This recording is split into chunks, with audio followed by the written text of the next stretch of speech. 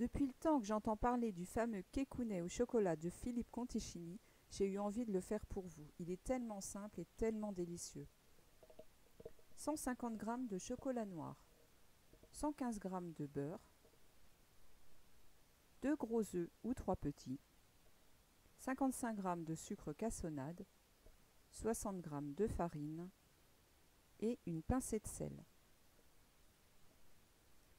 Faites fondre le chocolat et le beurre au bain-marie. Tranquillement, on va le laisser euh, se liquéfier.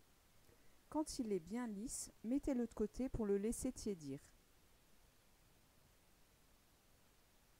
Dans un autre récipient, versez les œufs et le sucre, puis mélangez grossièrement au fouet manuel. Hein. Inutile de vous prendre la tête, on veut juste mélanger. On ne veut surtout pas faire monter euh, en mousse la préparation. Ajoutez la farine, idem, on mélange tranquille. Et puis le sel.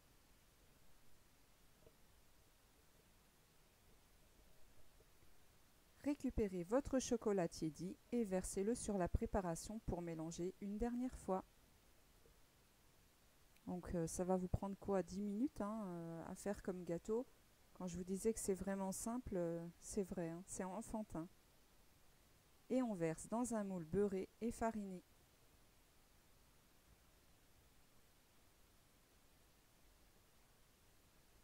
Enfournez 25 minutes à 160 degrés sans jamais ouvrir la porte du four, bien sûr. Démoulez-le rapidement et laissez refroidir totalement avant de le couper.